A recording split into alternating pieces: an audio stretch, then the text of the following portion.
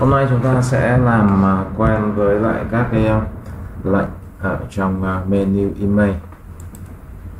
À, menu email thì nó sẽ giúp cho chúng ta là can thiệp sâu vào trong các cái bức ảnh à, bao gồm là định lại kích thước, định lại chế độ màu, rồi à, xoay lật nhân bản, rồi can thiệp sâu vào các cái vấn đề về tương phản độ đậm độ sáng vân vân của một cái bức ảnh.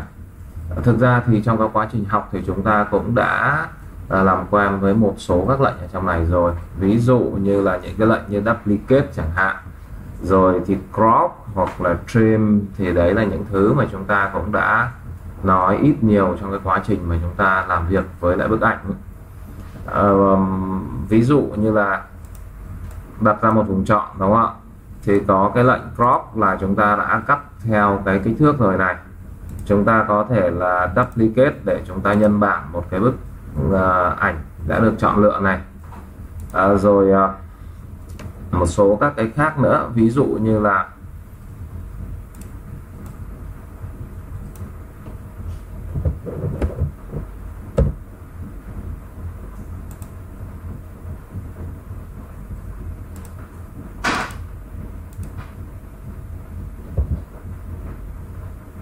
khi mà một cái bức ảnh mà nó có cái viền trong như thế này thì chúng ta cũng còn có một cái lệnh nữa là lệnh trim lệnh trim này thì nó sẽ cho phép chúng ta là uh, cắt bỏ tất cả những cái phần mà màu những phần trong suốt ở đây. Đó. Ví dụ khi mà chúng ta xử lý thì nó sẽ tự động loại bỏ tất cả các phần trong suốt đi. Nó chỉ giữ lại cái phần mà có điểm ảnh của chúng ta. Đấy. À, một số thứ nữa ví dụ như canvas size thì chúng ta cũng đã nói rồi đó image size chúng ta cũng đã nói một phần. Một phần ở trong đó. Hoặc là image rotation. Này, bây giờ chúng ta xem thử một cái lệnh image rotation thì nó giúp chúng ta làm cái gì nhá. Bây giờ chúng ta lại mở một cái ảnh mà nó có nhiều ờ, nhiều layer ra một chút.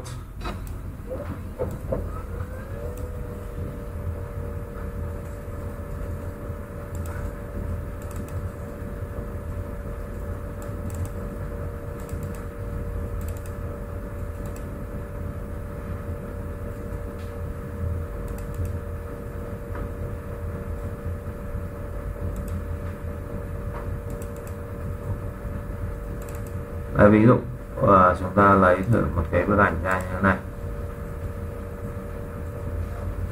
Khi mà một bức ảnh của chúng ta có nhiều layer thì hôm trước chúng ta đã làm quen với một số các lệnh như là lệnh transform đúng không? Bằng lệnh transform này chúng ta có thể xoay lật hoặc là can thiệp vào một layer nào đó. À, ví dụ như là rotate đi. À, tôi đang chọn cái cái mũ đúng không? Bây giờ tôi ờ, có thể là xoay một cái này đi bao nhiêu đó. Thủ công cũng được hoặc là các bạn có thể là nhập một cái con số vào đây. Ví dụ thế. Như vậy là chúng ta uh, xoay một cái layer ở trong một bức ảnh. Uh, tuy nhiên đây là cái sự can thiệp vào trong một cái layer thôi chứ không phải là can thiệp vào trong cả cái bức ảnh này. Uh, nó cũng giống giống như là tôi có một cái khung to ở trong đó chứa nhiều cái ảnh nhỏ và cái thao tác vừa rồi của chúng ta là chúng ta xoay lật chúng ta đổi vị trí hoặc là chúng ta can thiệp vào một cái bức ảnh nhỏ trong cái khung to thôi. Thế còn uh, trong lệnh email này cái lệnh email rotation này thì chúng ta sẽ xoay là xoay cái gì đấy ạ? Xoay cả cái khung chứ không phải là xoay một cái bức ảnh nhỏ trong đó. Đấy. Thế nó hơi khác so với lệnh uh, transform mà hôm trước chúng ta đã đã làm. Thế còn bây giờ thì chúng ta nói về một số thứ mà nó nó sẽ ờ, quan trọng hơn một chút. Đây bây giờ chúng ta nói về cái cái hệ màu nha hệ màu thì ở đây chúng ta có một số các cái hệ màu ở trong phần mode uh, ờ, chúng ta có uh, grayscale bitmap duton index color rgb cmyk lab multi-channel vân vân thì trong đó chúng ta đã đề cập tương đối nhiều là hai cái hệ màu là RGB và CMYK đấy là những cái hệ màu mà được sử dụng gần như là phổ biến nhất ở trong cái quá trình làm việc của chúng ta.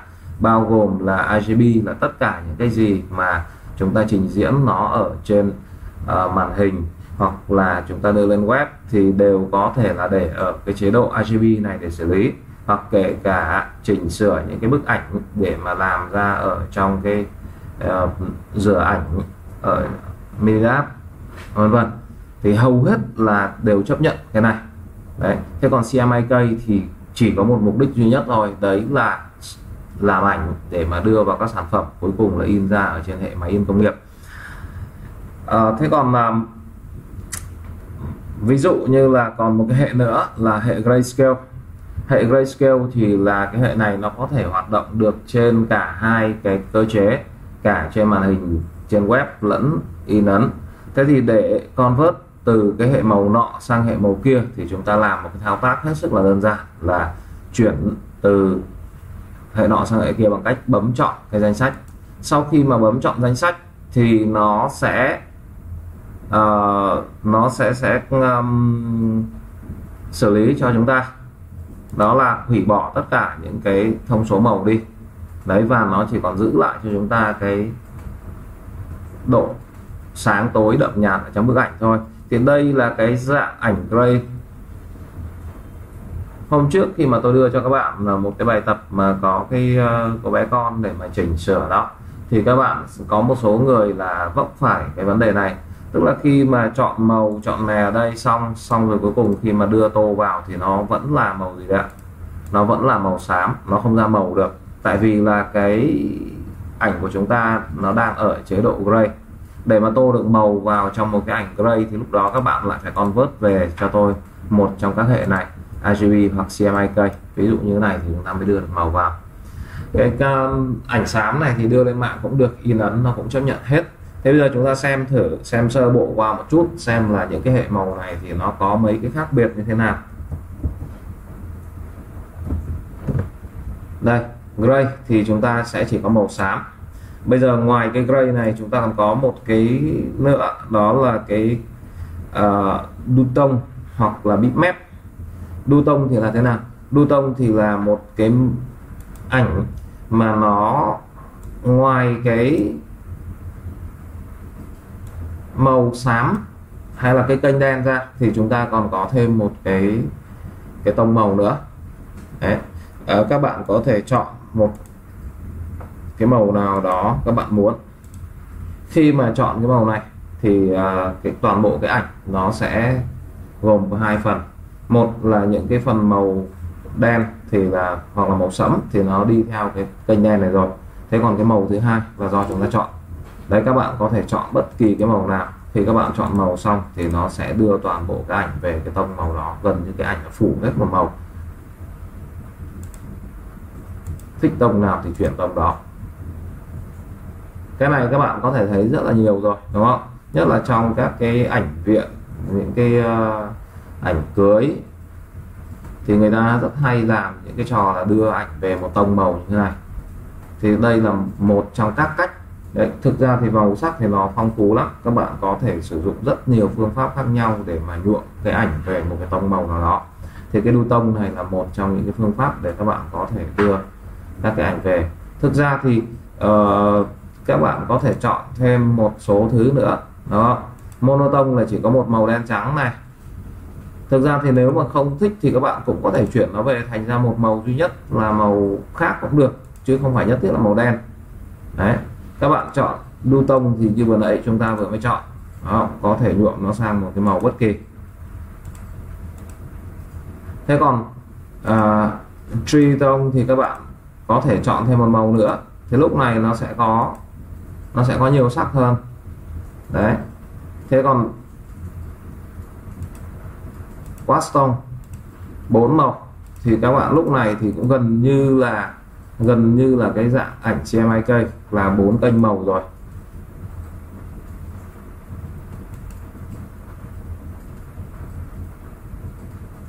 Thế còn à, ngoài ra thì chúng ta còn có một cái dạng nữa đó là cái ảnh bitmap. Bitmap thì bây giờ chúng ta nên làm một cái um, một cái so sánh như thế này để hình dung ra nhé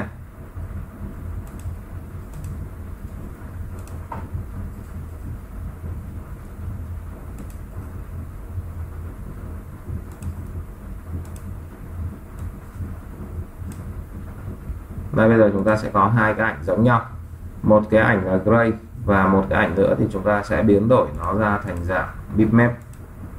Đấy bitmap thì uh, nó vẫn là một cái dạng mà không có màu. Tuy nhiên là ở dạng bitmap thì nó sẽ không có thang độ xám trung gian nữa mà nó sẽ chỉ có đen và trắng thôi. Đây các bạn quan sát thử. Bây giờ chúng ta phóng thử một cái chi tiết nào đó lên chúng ta quan sát nhé.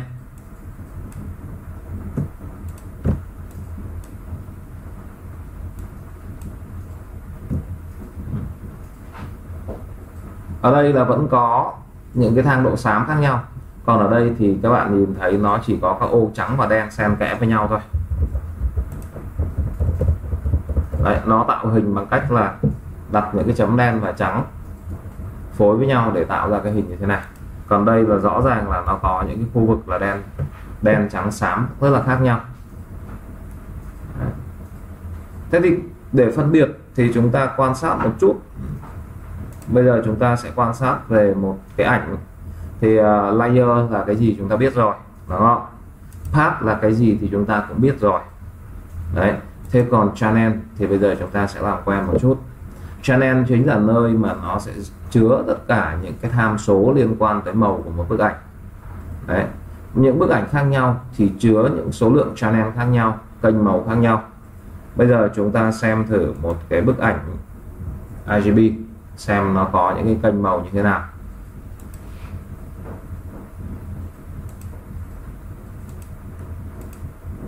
Đây.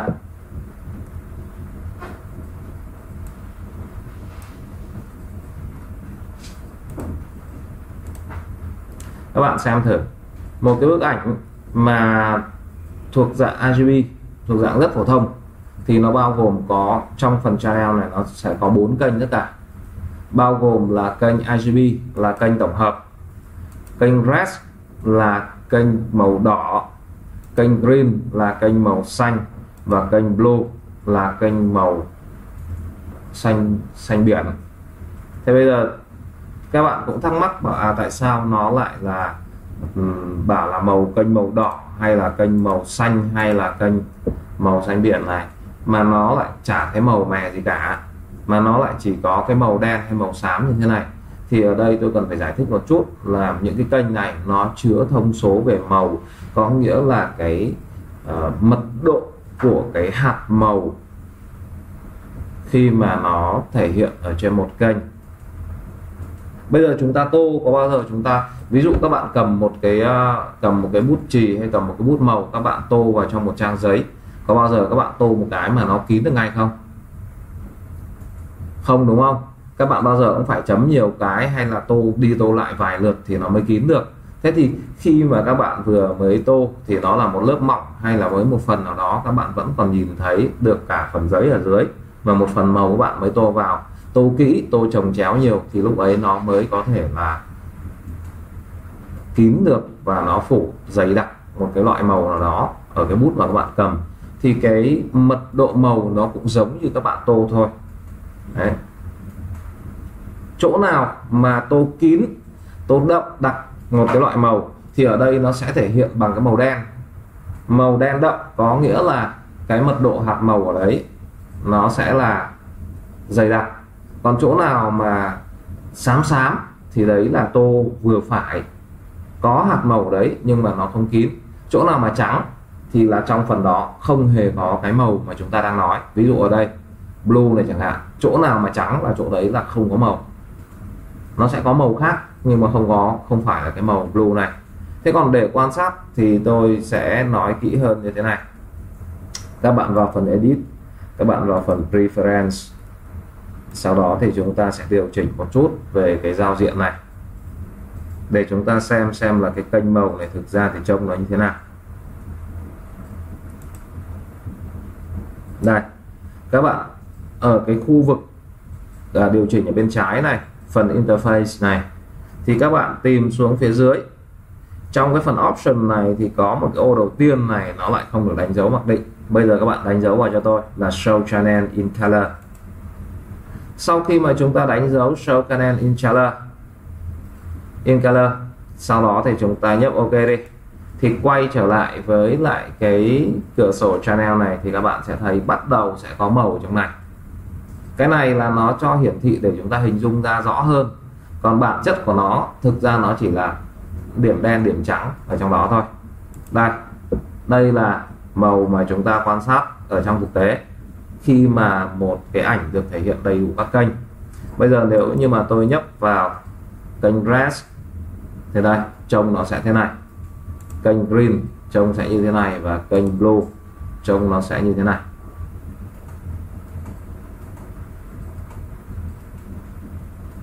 Bây giờ tìm một cái ảnh uh, tìm một cái ảnh CMYK và chúng ta sẽ mở thử nó ở trong uh, trong cái uh, màn hình này để chúng ta xem xem cái CMYK thì nó khác như thế nào so với cái uh, RGB nhé.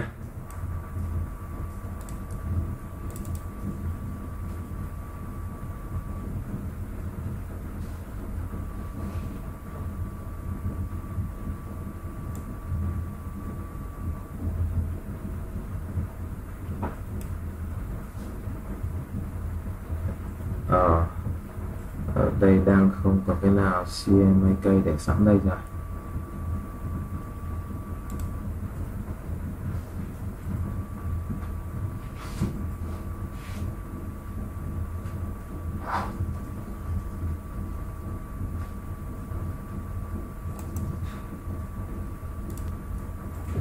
Đây, bây giờ chúng ta sẽ xem tiếp sang một cái ảnh ở cái dạng là CMYK trông nó sẽ như thế nào nhé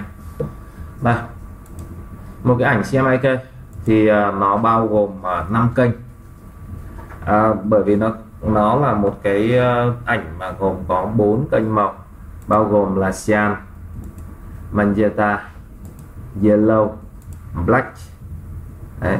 và kênh tổng hợp khi mà chúng ta trộn phối bốn cái màu này à, khi mà các bạn hình dung là lúc mà chúng ta đưa một cái file đưa xuống nhà in để nó in ra thành một cái sản phẩm mà các bạn cầm được trên tay, các bạn có thể là sử dụng được, thì các bạn sẽ thấy là người ta sẽ in lần lượt như thế này.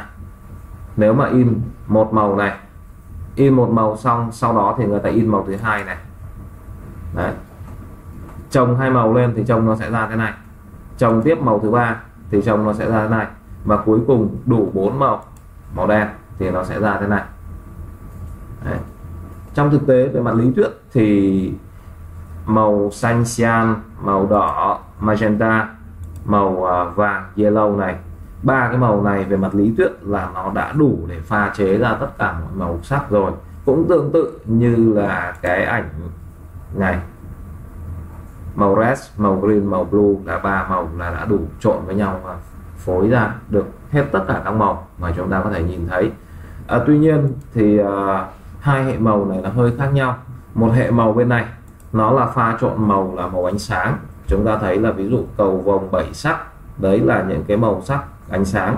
Màu sắc ánh sáng thì nó rất là trong và nó rất là dễ pha trộn vào với nhau. Và nó có thể tạo ra được tất cả các màu sắc thông qua cái, những cái màu chính là đỏ, xanh và blue này trộn với nhau. Tuy nhiên, cái màu này là cái dạng màu mà từ mực in mà mực in thì khai thác từ khoáng chất để chế tạo ra nó không được um, nó không được tinh khiết 100% cho nên về lý thuyết mặc dù là ba cái màu này pha trộn với nhau là nó đã có thể tạo ra được tất cả các màu. Nhưng mà riêng cái màu đen thì sao? Riêng cái màu đen thì ba màu này về mặt lý thuyết trộn với nhau là sẽ tạo ra màu đen. Nhưng cái màu đen ở đây là cái màu đen nhờ nhờ đen nước cống chứ nó không phải là đen đen tuyền. Cho nên là trong cái quá trình mà um, in thì người ta phải bổ sung thêm một cái kênh màu là cái kênh màu black vào để đảm bảo tạo ra được một cái gì ạ? Một cái độ đậm tạo ra độ đậm cho cái bức ảnh. Đây bây giờ chúng ta xem thử nhé tôi sẽ uh, tôi sẽ sẽ sẽ chứng minh thử một chút tại sao nó lại phải cần có cái kênh màu đen. Uh, chúng ta sẽ tạo ra một cái uh, file là dạng CMYK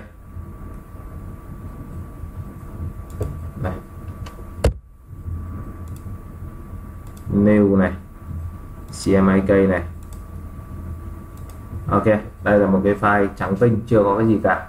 Bây giờ tôi mới làm việc vào trong kênh Cyan à, ờ, tôi sẽ tạo ra một cái uh, tròn tròn đây ví dụ như là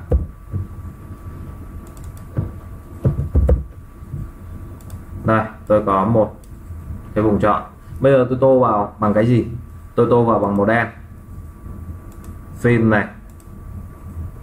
Black này. Cái tôi tô vào là màu đen.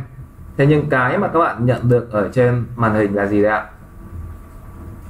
Màu xanh vì là tôi đang tô nó vào trong gì?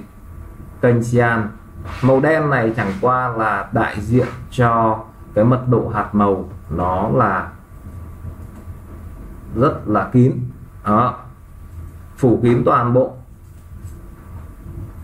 Và trên kênh này là sẽ tô vào màu xanh. Tô đen vào đây nhưng cuối cùng lại là hiện ra màu xanh ở trong màn hình các bạn nhìn thấy bây giờ tôi lại làm tiếp một thao tác nữa. Lần này thì tôi tô vào trong kênh đỏ edit fill vẫn tô màu black. Đó, bây giờ chúng ta nhận được là gì đấy ạ? Chúng ta nhận được là kênh màu đỏ, đó. Để kiểm tra lại một tí, cái lệnh tô, nó là 100 ok bây giờ tiếp tục. Tôi sang đến kênh màu vàng.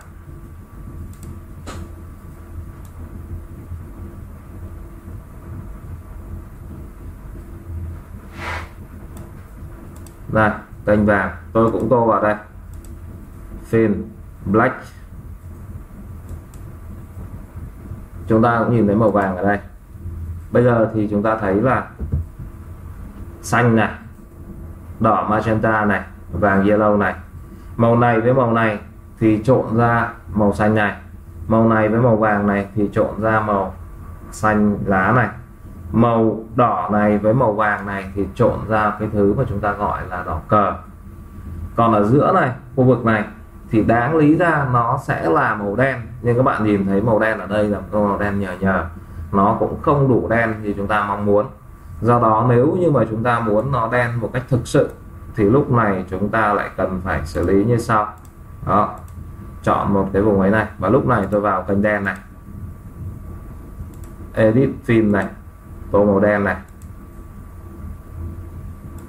Đấy, bây giờ thì chúng ta mới nhìn thấy, kênh đen này với kênh đen kia nó hoàn toàn khác nhau. Nó tôi tô thêm một màu đen vào, trông nó sẽ đậm, nó đen, lúc này đen nhánh luôn chứ còn cái đen mà lúc mà chúng ta mới chỉ trồng có ba cái kênh màu chính là cyan, magenta và yellow, thì chúng ta thấy một cái màu đen nó nhờ nhờ. Đấy chính là cái lý giải tại sao khi mà chưa có cái màu đen này ở đây, thì các bạn sẽ thấy rằng là cái ảnh nó trông nó rất là nông. Đó, nó không đủ độ chắc màu, nó cũng không đủ cái độ chi tiết đấy thì cái kênh đen nó phát sinh ra ở trong cái ảnh CMYK chính là nó để bổ sung cái độ đậm độ chắc độ sâu của màu.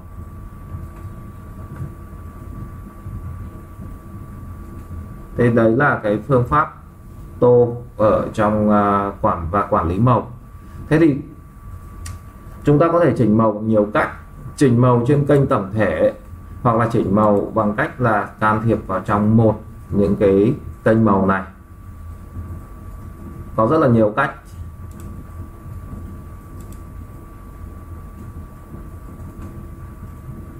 Thế ngoài ra thì còn có thêm một cái um, một cái hệ nữa. Lab color. Ở lab color thì ở đây nó sẽ có uh, hai cái um, có có có một cái sự thay đổi. Đấy. Lab color thì nó sẽ tạo ra cho chúng ta ba kênh. Một kênh tổng hợp là kênh lab. Đấy.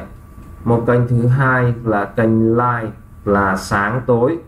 Một kênh thứ ba là kênh A. Một kênh thứ tư là kênh B.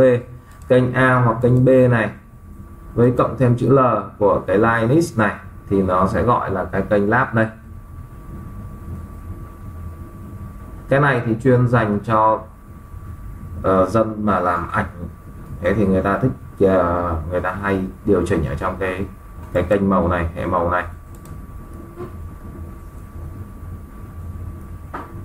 Thế thì thường thường thì các bạn làm việc thì phần lớn là các bạn sẽ gặp hai cái thằng này là chính thôi. Đấy làm phần lớn ở trong này. Index là cái gì? Index là một cái dạng màu mà đặc biệt dành cho cái thằng uh, web đấy. Khi mà các bạn xuất một cái ảnh ra, các bạn làm trên web thì nó sẽ nó sẽ ở cái hệ màu index này. Thế còn index lại giải thích một chút tại sao nó lại gọi là index.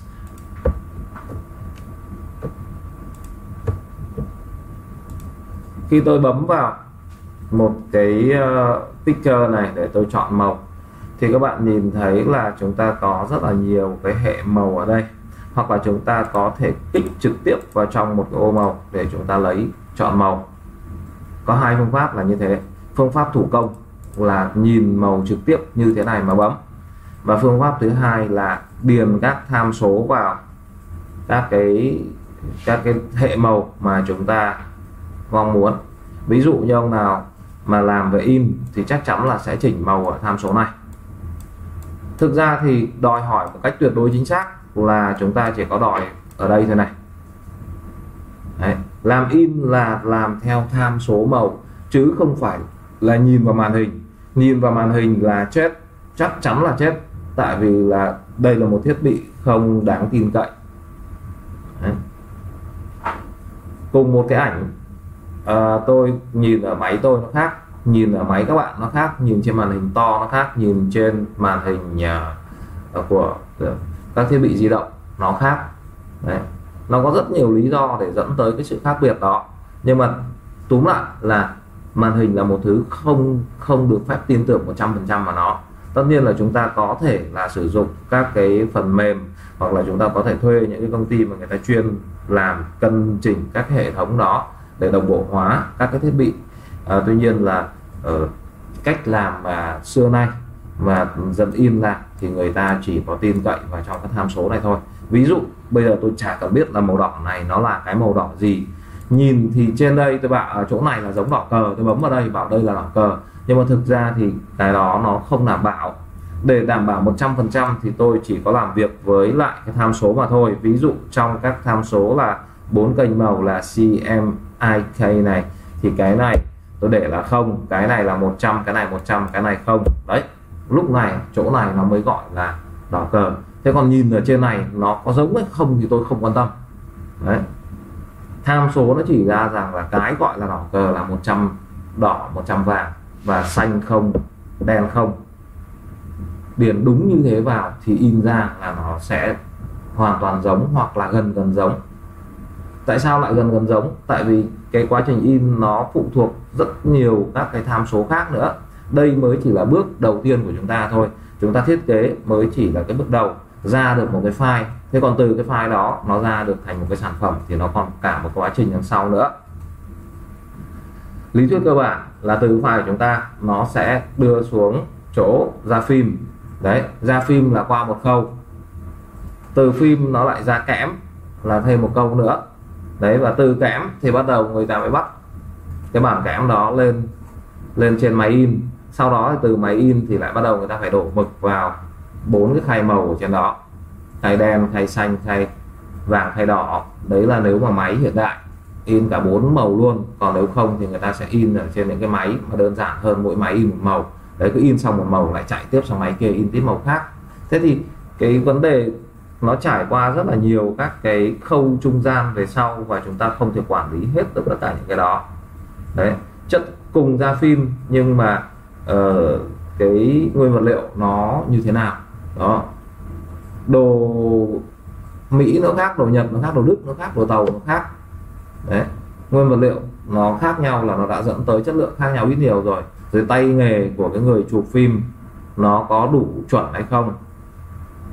Thế sau đó thì kẽm cũng thế. Thì cũng lại một phần nữa chúng ta nói rằng là nó sẽ phụ thuộc vào cái phần nguyên vật liệu. Đấy. Nó có đủ chất lượng hay không? Chất lượng có bằng nhau hay không, giống nhau hay không, tay nghề người chụp kém, nó có tốt hay không. Đấy, sau đó thì bắt đầu vào đấy lại phụ thuộc vào máy in. Máy in to hay nhỏ, hiện đại hay là hay là cũ.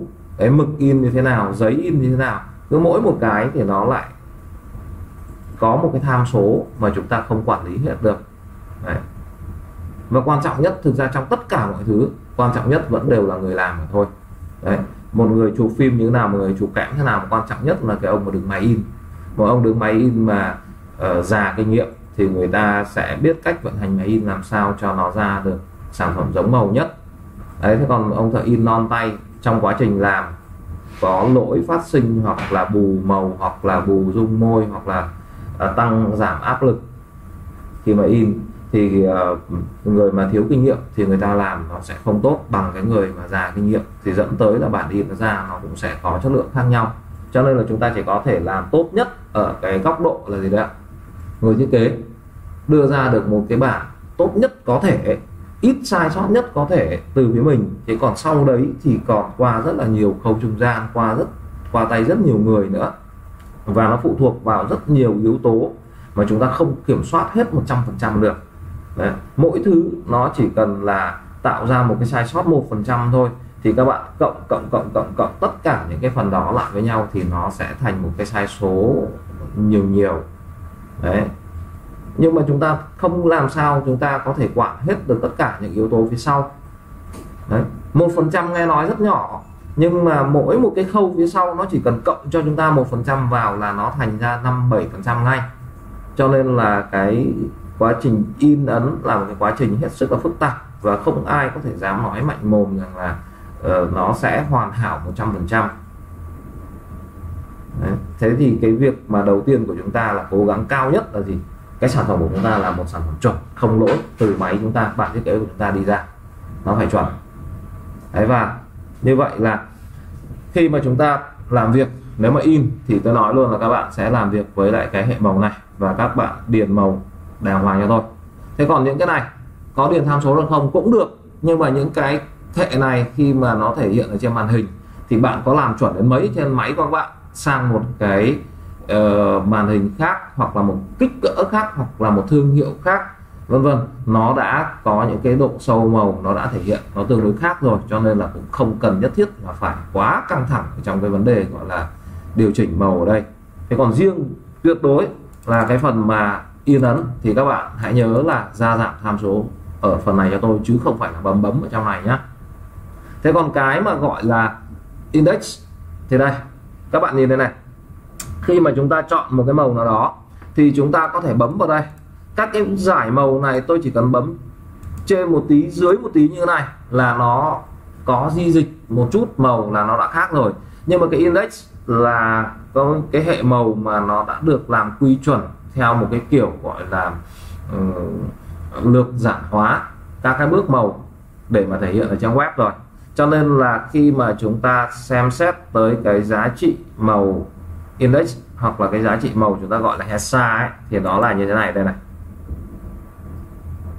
Thay vì là bấm lui lên lui xuống một tí là chúng ta sẽ có một màu hơi khác nhau. Thì khi mà chúng ta thể hiện màu trên web thì các bạn nhìn, nếu tôi đánh dấu vào cái only web color thì nó sẽ phân chia ra một cái phần mà color picker một cửa sổ chọn màu, nó phân chia ra thành những cái ô như thế này. Ô ở đây với ô ở đây hay ô ở đây là giống nhau. Trong cái khoảng này được coi là giống nhau. Đấy, thì cái hệ màu mà index nó sẽ là cái thuộc cái hạng màu là giảm lược bớt các bước trung gian quy về một số các màu mẫu nào đó.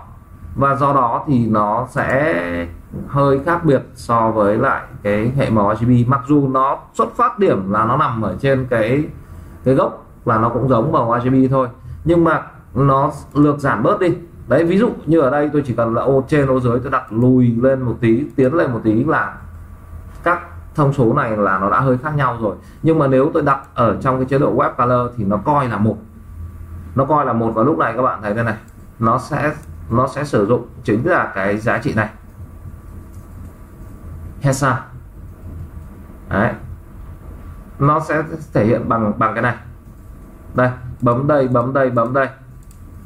Là nó sẽ vẫn chỉ là một màu thôi CC3333 Đấy. nhưng mà nếu mà tôi chỉ cần là tôi bỏ cái này đi, bấm lên một tí, bấm xuống một tí, lúc này nó không còn là một cái màu giống hệt nhau nữa thế thì cái cái cái, cái chế độ màu màu index là cái, cái chế độ màu mà nó tương đối giảm được. Đi nó giảm bớt cái bước trung gian đi. Thì uh, các bạn cũng sẽ thấy là nó sẽ hơi khác biệt một tí. Và có một cái mà chúng ta cũng sẽ phải thấy luôn là cái màu hệ cái màu index. Khi mà tôi mở một cái ảnh mà ở chế độ index color ra thì các bạn sẽ không thể nào mà tạo ra được gì đấy ạ? Không thể nào tạo ra được các layer. Vùng chọn vẫn tạo được nhưng các bạn không tài nào các bạn tạo ra thêm được các layer như là một cái ảnh RGB thông thường. Và thường mà nếu mà các bạn muốn làm một cái ảnh mà ở cái dạng à, nhiều layer như thế thì các bạn cần phải convert nó lại sang thành RGB các bạn mới có thể làm được. Đây ví dụ chúng ta xem thử nhé tôi đặt cái ảnh này thành index index color nhé đấy. Đây các bạn nhìn đây này. Thay vì là thay vì là cái tên là gì đây ạ? Tên thông thường chúng ta nhìn thấy đây là gì? Background đúng không? Thì nó sẽ có cái chữ index ở đây. Bạn có thể tạo ra vùng chọn được không? Vẫn tạo được. Chứ không phải là không.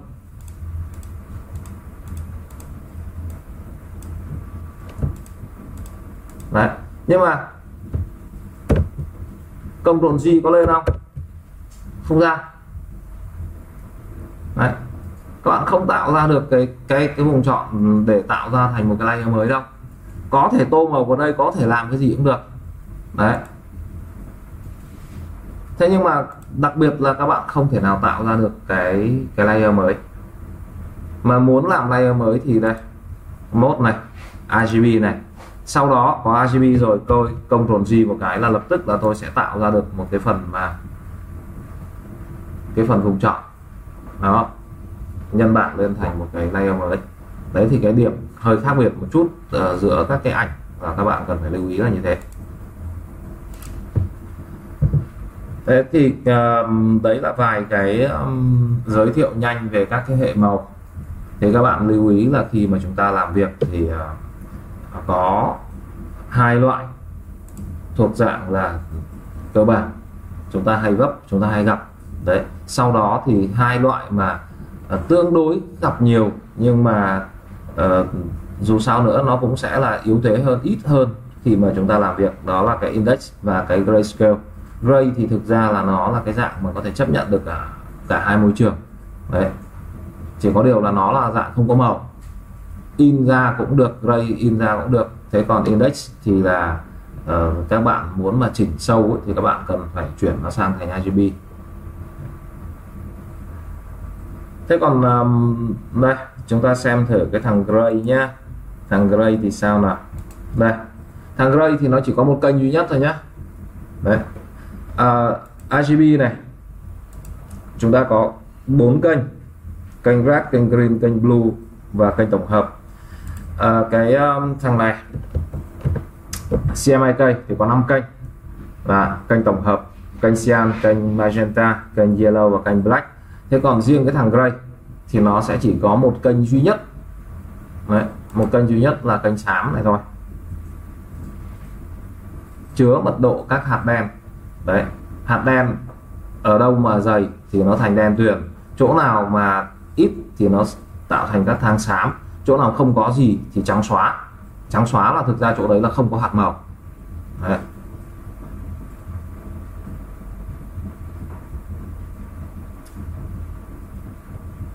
Thế thì tuy nhiên là chúng ta cũng lưu ý là hầu hết hầu hết các bức ảnh mà chúng ta có được trong tay gần như là chín mươi mấy phần trăm nó là thuộc dạng mặc định là RGB Đấy. tất cả các thiết bị, máy chụp ảnh số rồi máy scan rồi các thiết bị mà cho phép chúng ta nhập vào, hầu hết là nó hỗ trợ theo cái dạng RGB này Đấy.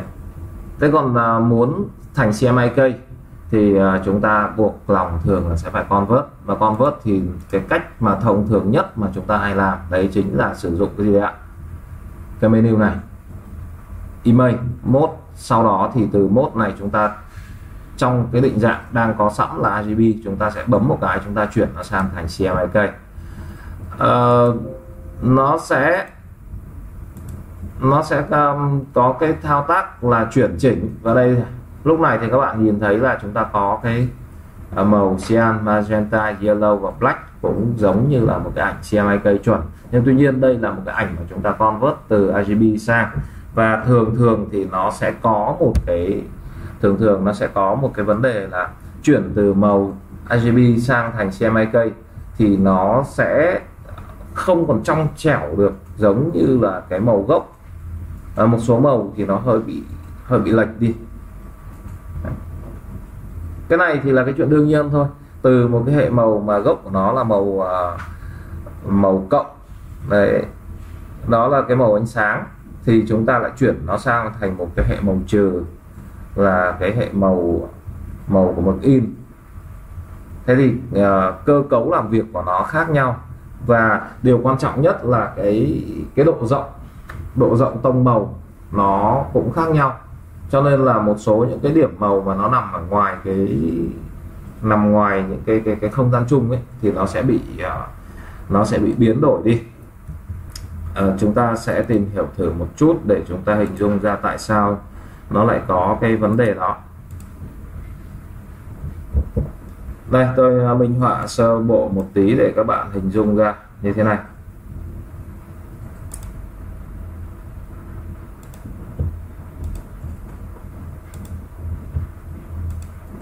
Ví dụ như thế này. À, tôi có một cái um,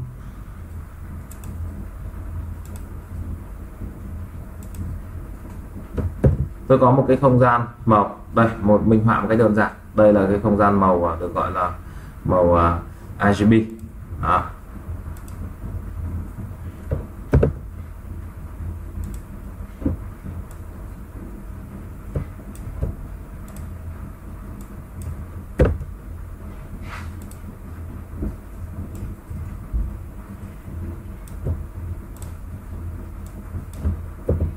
Ví dụ như thế này. Đây một không gian. Tất nhiên đây là, là vẽ ra ừ, ờ, một cách tương đối để cho các bạn có thể dùng. À, thế thì đây là cái không gian màu ờ, uh, RGB thế còn nếu mà chúng ta lại làm việc với một cái không gian màu nó gọi là không gian màu CMYK chẳng hạn thì nó sẽ có một cái hình dáng nó đại loại nó như thế này. Đây, chúng ta mô tả về không gian màu uh, CMYK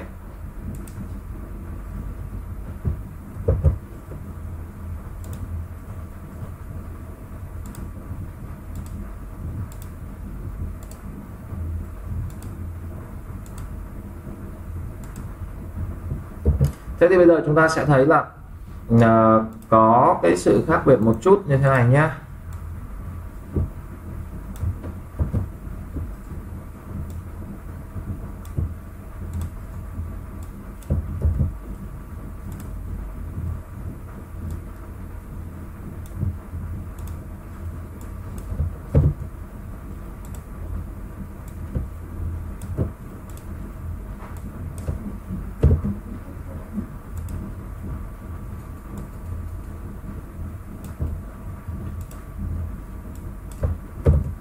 đây thế bây giờ, hai không gian nó có hình dáng khác nhau, nó có diện tích khác nhau. Thế thì có một cái phần nào đó khi mà chúng ta đặt chồng hai không gian lên nhau, thì cái khu vực mà hai thằng chồng vào nhau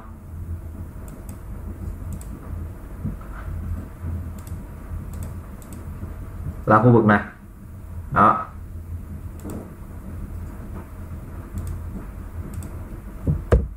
Đây là cái khu vực mà hai hai thằng chồng vào nhau. Thế còn những cái thằng này, khu vực này nằm ngoài là những cái chỗ mà không chồng lên nhau. Thì những khu vực mà không chồng được vào nhau này, khi mà con vớt qua lại giữa hai cái hệ màu, chắc chắn là nó sẽ tạo ra cái sự khác biệt. Đấy. khi mà hai không gian này không chồng vào nhau. Chỗ nào mà chồng vào nhau, chuyển qua chuyển lại giữa CMYK và RGB nó vẫn đảm bảo là trông giống nhau. Đấy thế còn lý do khác biệt là vì còn có những cái khu vực mà hệ nọ với hệ kia nó nằm ngoài không chồng vào nhau. Chuyển qua chuyển lại nó sẽ bị khác biệt. Thế thì uh, chúng ta sẽ có một số các cái ừ, phương pháp khác nhau. Đấy đây là một cái vấn đề rất là đau đầu khi mà người làm in làm thiết kế in uh, gặp phải khi mà xử lý ảnh. Đấy ảnh thì toàn là RGB nhưng khi in ra thì chúng ta lại in ra trên hệ CMYK và khi convert từ màu à, uh, RGB sang thành CMYK thì nó gặp phải cái vấn đề là màu nó bị khác biệt đi. Cực kỳ khó để mà giải thích cho khách hàng. Đấy. những cái vấn đề như thế. Mà chúng ta làm không tốt thì uh, nó sẽ phải chấp nhận cái sự biến màu đó. Thế thì uh, có rất là nhiều phương pháp khác nhau.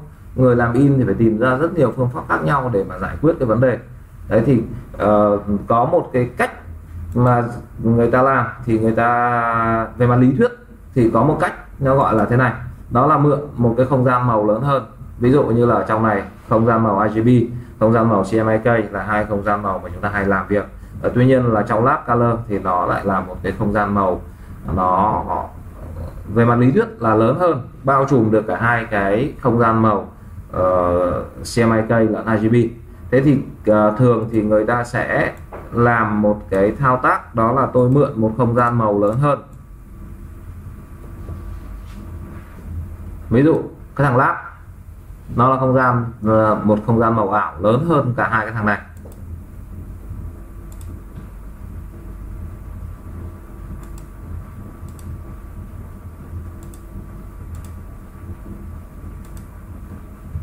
Đấy thì người ta sẽ làm theo cái cách là gì đấy à tôi có màu RGB đúng không ạ? Tôi có một cái màu RGB vậy thì khi mà tôi ở cái màu uh, màu RGB này thì tôi sẽ không convert thẳng trực tiếp sang màu CMYK mà tôi trước hết là tôi convert từ RGB sang thành lab đã. Tức là từ một cái thằng bé chuyển sang một thằng to hơn mà nó cũng bao kín hết cả. Nó có có giao chồng với nhau. Thế sau đó thì từ lab tôi mới mượn cái không gian lab tôi chuyển ngược về tiếp sang thành CMYK tại vì CMYK nó cũng nằm được ở trong cái thằng lab này cho nên là về mặt lý thuyết thì nó sẽ ít bị uh, ít bị đổi màu hơn so với chúng ta chuyển thẳng trực tiếp từ RGB sang thành CMYK Đấy. À, thế thì um, cái cách này về mặt lý thuyết thôi nó cũng không hoàn hảo hơn mấy so với cách mà chúng ta chuyển thẳng từ RGB sang CMYK vẫn bị biến màu. Có thể là ít hơn nhưng mà à, vẫn bị biến màu. Thế thì bây giờ chúng ta sẽ thử hướng dẫn nhau một cái cách nào đó để mà chúng ta convert từ một cái bức ảnh uh, từ cái hệ màu à, uh, RGB sang thành CMYK mà nó ít bị biến màu hơn một tí đây, bây giờ chúng ta sẽ um, thử nghiệm như sau. Đây, chúng ta làm một cái cách như thế này nhé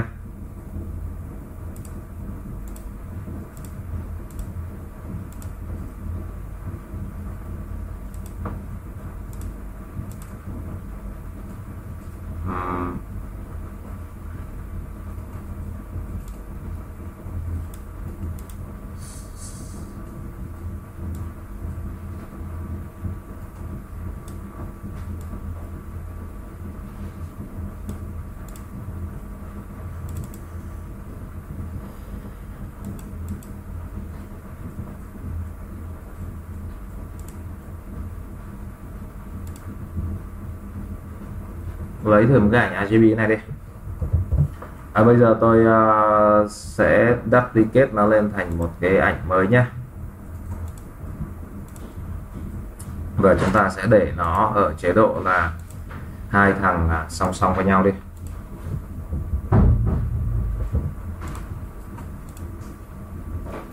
À, về mặt lý thuyết như thế này thì uh, hai cái ảnh này nó giống nhau đúng không ạ? Tại vì bây giờ nó đang là RGB cả. Bây giờ chúng ta xem thử nhé nếu mà chúng ta um, xử lý này email này mode này thông thường thì chúng ta sẽ chuyển thẳng sang CMYK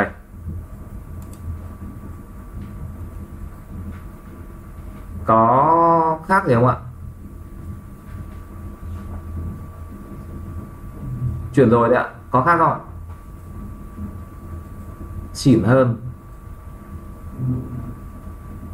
quan sát thử ở phần móng tay này này.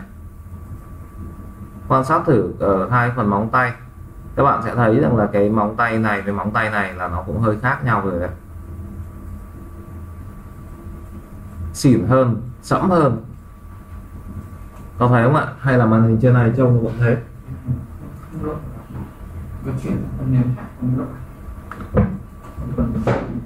ok, nào, thế thì chúng ta tìm một cái màu khác nhá màu này không rõ lắm thì chúng ta lấy thử một cái màu khác.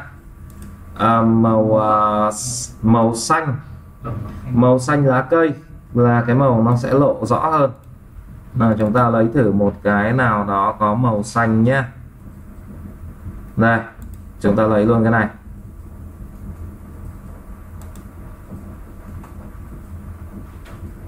À đây cái ảnh này bị convert sang CMYK mất rồi. Tìm một cái khác. Đây thì lấy luôn cái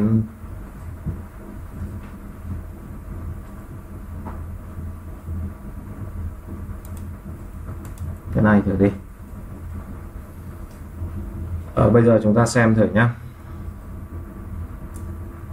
duplicate này.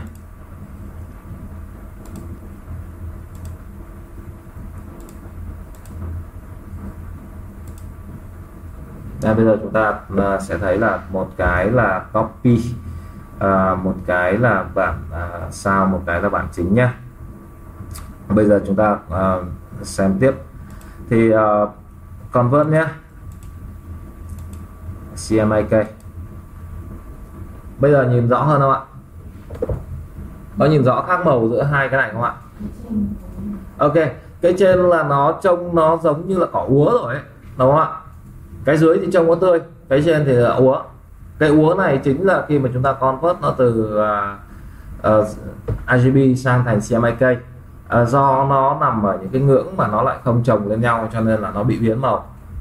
Đấy và bây giờ thì chúng ta sẽ tìm cách nào đó để chúng ta thử nghiệm xem là uh, giải quyết xem là nó ít biến màu nhất có thể. Đó ví dụ như bây giờ như tôi vừa mới nói thay vì chúng ta convert trực tiếp từ RGB sang CMYK thì tôi sẽ mượn một cái con đường đi nó um, nó trung gian hơn một tí. Đó đi vòng hơn một tí. Tức là tôi chuyển sang lab.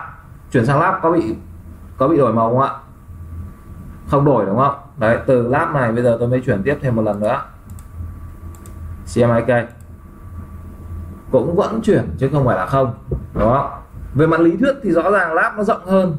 Thế nhưng mà từ lab chuyển về nó vẫn có vấn đề nó cũng vẫn không hoàn hảo giống như chúng ta mong muốn. Thế bây giờ chúng ta sẽ làm một cái thao tác khác nhé để chúng ta có thể là hạn chế đến mức uh, tối đa có thể. Hoàn hảo thì không có cái gì hoàn hảo đâu. Hoàn hảo không bị thay đổi chỉ có để nguyên thôi. Chứ còn đã đụng thì nó đã chỉnh cho nó thì chúng ta phải chấp nhận những cái giá trị nó bị thay đổi. Thế nhưng mà cố gắng giảm thiểu đến mức lớn nhất có thể cái sự biến đổi đó. Thì đây chúng ta không xài ở trong cái võ này nữa không mốt này nữa. Đấy. Và bây giờ thì chúng ta sẽ vào một cái phần này. Đó là các bạn vào cho tôi phần menu edit. Trong edit này thì chúng ta sẽ vào một cái là color setting.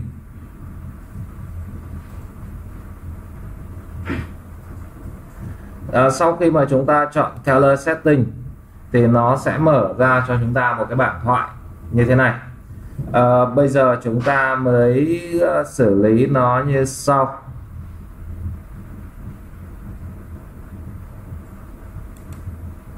Chúng ta sổ cái danh sách này ra và chúng ta chọn một cái một cái ờ, tham số mới đi.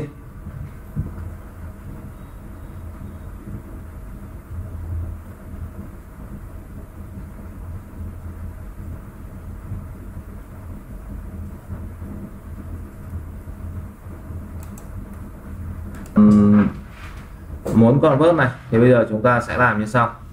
Vào edit này vào color setting này. Trong color setting này thì chúng ta sẽ sổ cái hệ màu CMYK dưới này.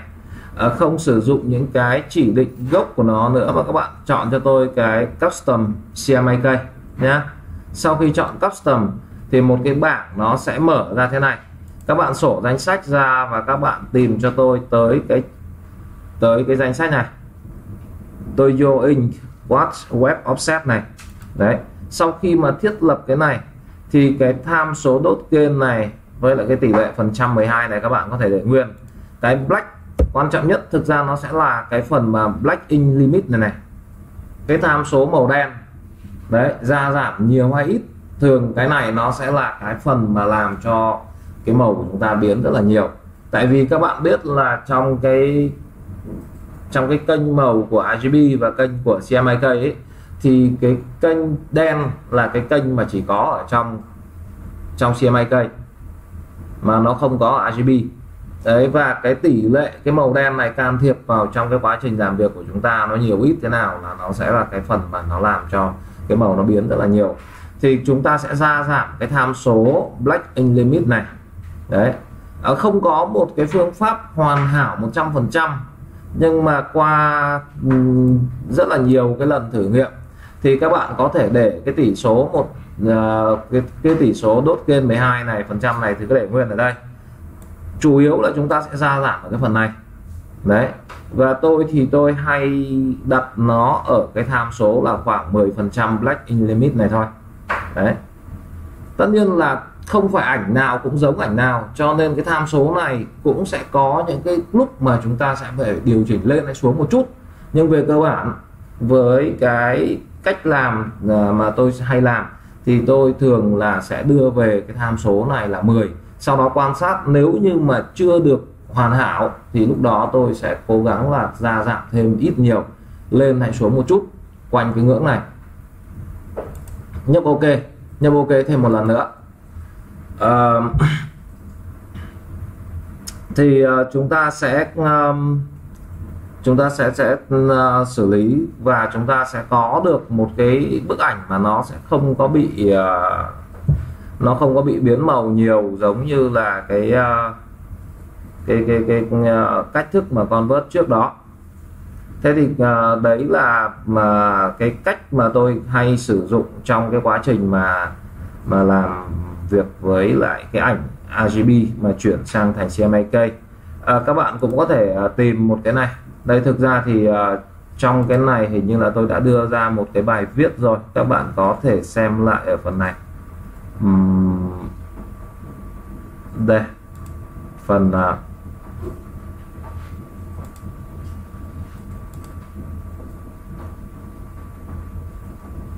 chúng ta xem lại cái này hình à đây đây này các bạn có thể tìm lại cái bài này ở trên uh, ở trên site của chúng ta nhé. Thì uh, tôi đã có một cái cái cái uh, phần bài viết hướng dẫn về cái này rồi. Các bạn có thể xem kỹ ở trong này một chút nếu mà các bạn uh, muốn tham khảo lại về cái cách mà convert qua lại giữa các cái uh, màu uh, RGB và CMYK làm sao cho nó ít biến màu. Đấy. thì các bạn dùng cái này cho tôi.